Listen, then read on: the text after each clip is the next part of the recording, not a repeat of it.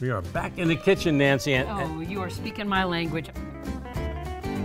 We are here today to talk about gadgets and gizmos. All of these new types of appliances that people have gone absolutely crazy about. And I'm talking about air fryers, I'm talking about Instapots, a way of making food that we're used to having, but faster, but faster. easier, more efficient.